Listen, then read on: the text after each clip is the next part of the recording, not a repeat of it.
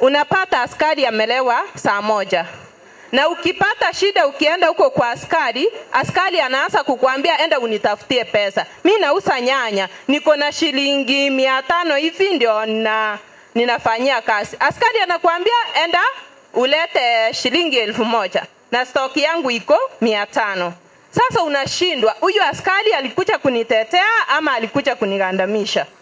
Askari wetu hapa hawafanyi kazi. Kusema ukweli, hii kituo yetu imekuwa mbaya zaidi.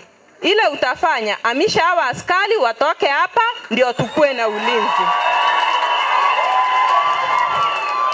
Waliingia mara ya kwanza, akapiga mmoja, wakaenda tena, wakaenda kujipanga, wakafanya nini? Surely kama askari wangekuwa karibu, sio wangemsaidia? Na hata ndio kusema wakusikia hata mlio wa risasi. Nikatembea moja kwa moja nikaenda mpaka ofisi ya OCS. Bwana Libole ako hapo hapo hapo. Nilienda mpaka ofisi yake nikamwelezea kwamba Kebirigo kuna shida. Nikamwambia watu wetu wameuawa, kuna mikora wamejaa Kebirigo market.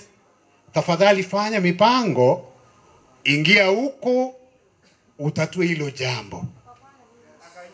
Bwana Lipole ako hapa akanihakikishia, akaniambia kwamba siku moja nitakuja nifanye hiyo kazi.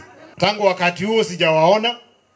Juzi juzi on Saturday kijana wetu Abiud alipouawa, nilichukua simu nikapigia bwana Libole, nikamwambia bwana Libole, are you aware watu wetu wamekufa hapa, watu wamepiwa usiku mzima, kijana wetu mmoja ameuawa, what do we do?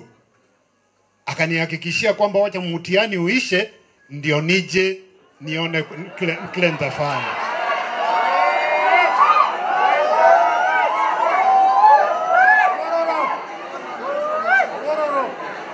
OCS hapa, mimi nikutane nikutane na bodaboda ambaye haina namba hapa na isemekani inakaa hapa, haki tutaanguka na mtu.